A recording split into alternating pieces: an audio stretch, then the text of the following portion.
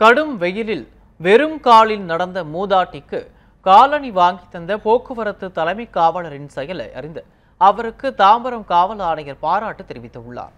சென்னை சோழிங்கநல்லூர் சந்திப்பில் கடந்த இருபத்தி எட்டாம் தேதி பணியில் இருந்த போக்குவரத்து தலைமை காவலர் ஜான்சன் புரூஸ்லி என்பவர் அவ்வழியே கடும் வெயிலில் காலில் காலணியின்றி சிரமத்துடன் தார் சாலையில் நடந்து வந்த மூதாட்டியை பார்த்து மனவேதனை அடைந்துள்ளார்.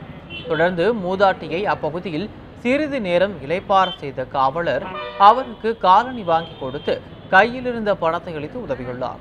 இந்த வீடியோ சமூக வலைத்தளங்களில் வைரலானதை அடுத்து தாம்பரம் காவல் ஆணையர் ரவி போக்குவரத்து தலைமை காவலர் ஜான்சன் புரூஸ்லியை நேரில் அழைத்து சான்றிதழ் வழங்கி பாராட்டு தெரிவித்தார்.